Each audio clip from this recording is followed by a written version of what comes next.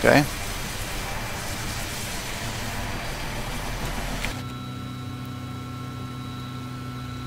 Now, the starter automatically disengages. Now that the starter is disengaged, now you fire generator 1 up. Take a look at how much power you're drawing. Hey Timber, once again I'm drawing 90 amps. I don't know. He made a change to this before that reduced that. Um, pitot heat is off. My generator's on. Battery fuel pumps. My landing light's on. Okay. Sometimes you'll see that. The landing, I'm still drawing 85 amps. Um, I don't know what to tell you, boss. Anyway, your landing light is right there. Sometimes when you start up in cold and dark, the landing light will be on. There's a, uh, it says so right there. In fact, we'll show you. Landing light.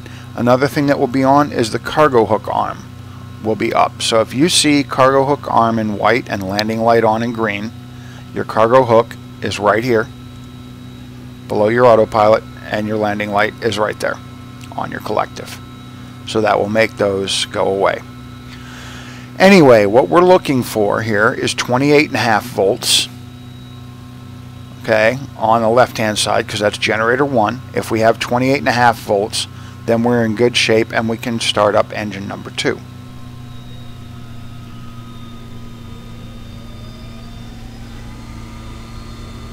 Whoa, 282 amps, Timber. What's going on here? I have never seen that. Most I've ever seen before is about half that.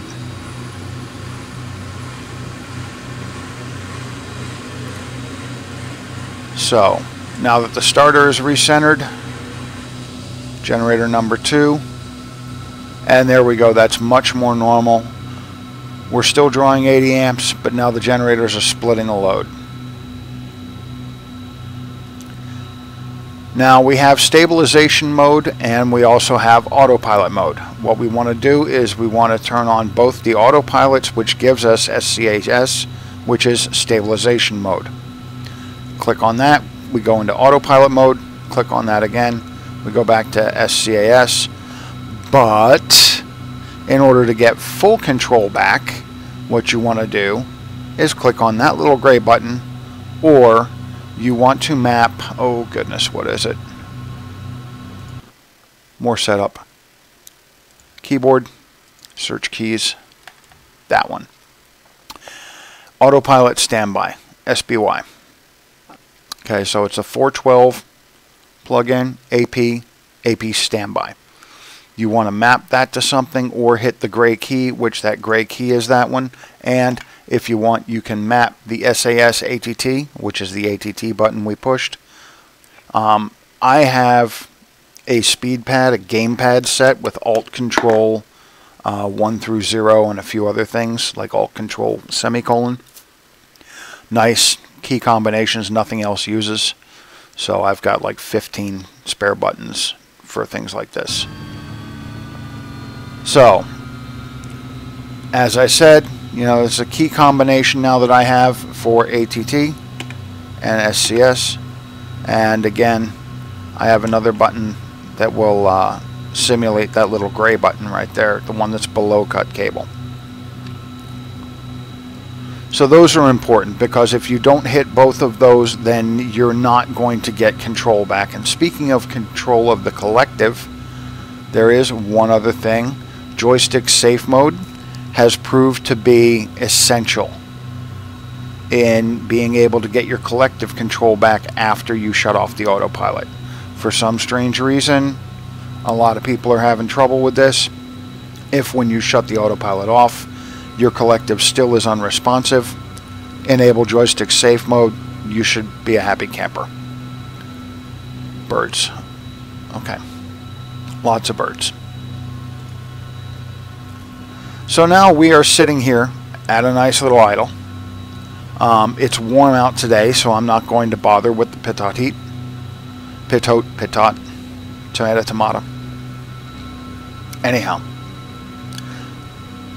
We now grab the throttle and we ease up. Being stupid and increasing it too fast has not uh, caused any problems yet. But as you can see from the amperage turning red, um, timber is modeling more and more into this bird and things may start to explode if you screw up. Now you want to take this line right here and put it with fly. Right there. This one right here, same thing. Got a cough again. One moment. now I may be speaking a little louder than uh, you think is necessary. My sound is turned up a little bit here. Let me turn that down. But I did check the volume levels before starting the video. Okay, so here we are sitting in the 429 and let me make sure we're still streaming. Looks good. I have had problems with the stream cutting out. Um, okay, a couple interesting things here is as far as the computer goes, system. Um, one of there's electrical schematic. You have to go back to system again. Okay, this right here does not work yet. Um, collective trim, cyclic trim, or yaw. I'm sorry. Your SCAS inputs they're not functional yet, but I'm really looking forward to when they are because one of the things I personally don't like is that we have no idea. Um, well, we have no idea where our trims are. You just take a wild guess. I mean, you know they start centered, but if you try to take off with them centered, that's not going to be a, a fun time. So what we want to do is put in a whole butt load of right hand trim. What's a butt load? To give you an idea, I'm pushing my right hand trim button, I'm still pushing it, I'm still holding it, I'm still holding it. Okay, now I'm letting go. That's a butt load. And I pull down for about two seconds. Uh, so I have about two seconds of rearward trim and about five seconds of right trim.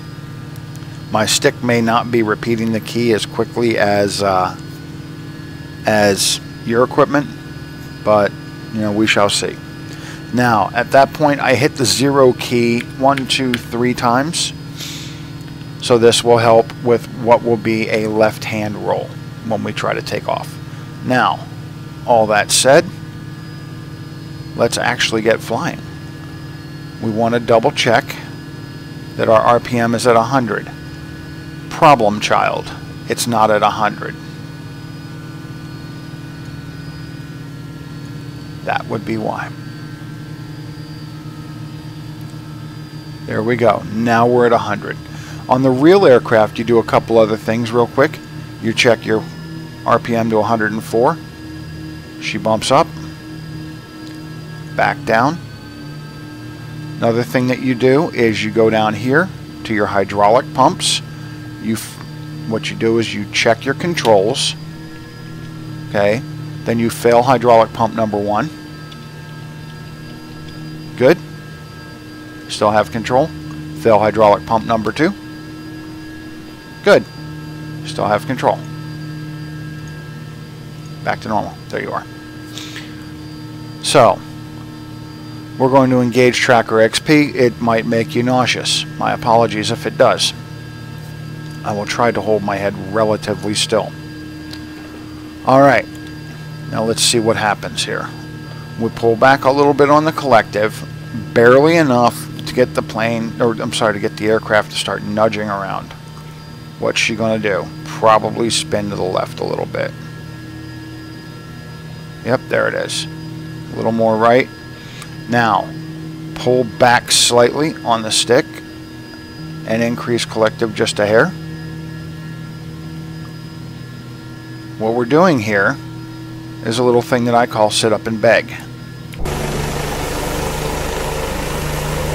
Okay, pulling back ever so slightly. And the reason that I do this is because that is about the flight attitude of the aircraft. She doesn't come straight up off the skids. If you try to come straight up off the skids, you're going to lurch forward, which is why she's sliding forward right now. Okay, so sit her up. I'm putting in a little bit. Oh, and that's another thing I wanted to do. Bell 412 plugins. This just lets you see what I'm doing. Collective right here. The higher it goes, the lower it is. It's it's inverted. Okay. Throttle, don't worry about it. It's automatic. It doesn't change as far as I know. Rudder is my pedals. You know, roll, pitch. Those are the main things to worry about, uh, especially collective. You can watch the collective bounce all over the place. You're constantly adjusting it as you fly. So, here we go. I need a little bit of right rudder. Pull back. Okay, so that's 10% pitch right there. I'm barely even sneezing. Okay, now increase collective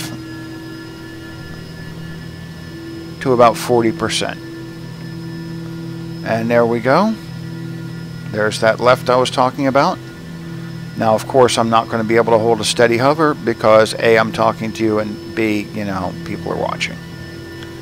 But hover taxi is one of the most difficult things to do. A hover taxi is what you see when a helicopter is moving along uh, at an airport. Like basically what we're doing right now is a hover taxi. Hover taxi should be at roughly three to four feet. I'm probably a bit high right now. Um, but yeah, hover, don't beat yourself up if you can't do this. A lot of beginners think, oh, I need to learn to fly a helicopter while it's low. Flying a helicopter below about 20 feet is the hard way. Okay, because you've got a lot going on with the ground effect, with that air that is swirling up as it bounces off the ground. You'll notice my radar turning all over the place. Um, and also something, if you look, we're going to pause a sec, but if you look right down here, you will see that this white line is where you're headed, this white diamond. This blue piece is actually your heading bug. This little white one is very important. You don't have this in a fixed wing. You will see it start moving. This is your direction of travel. Remember, a helicopter can move sideways. This one is telling you which way you're facing. This one is telling you which way you're going. Alright, very important. I'm going forward. Okay, now I'm going slipping right. You'll see that when you try to hover, this little thing bounces all over the place. And of course, I can't hover nice and smoothly um, when I'm watching the gauges. But, okay, let's re-enable Tracker XP. Now, another thing that I mentioned we would go over is ATL. ATL is, if I remember correctly, it's Alternative Transitional Lift. In a nutshell, what happens is this. As air starts moving over the rotor blades, you get more lift without changing your throttle or your collective. So when you're sitting still, that's when you have the least lift and you're sinking the most. Now I'm not going to touch the collective or the throttle at all. I'm just going to start moving forward. Okay, adding some tail rotor here. You notice we're climbing. We are now climbing at a thousand feet per minute. I have not touched the collective. She's still at 57%. Okay, this is ATL. So if you were to try to fly low to the ground, um, as you speed up, you're going to have to reduce the collective. Now, this is one of the things that people have a hard time with in a helicopter. If they want to go up with a fixed wing, you're accustomed to pulling back on the stick.